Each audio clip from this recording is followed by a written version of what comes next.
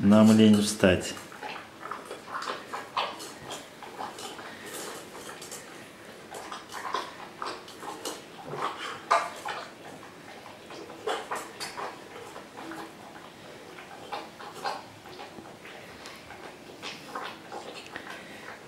Медведь точно в спячку собрался. Кушаем перепелиные яйца.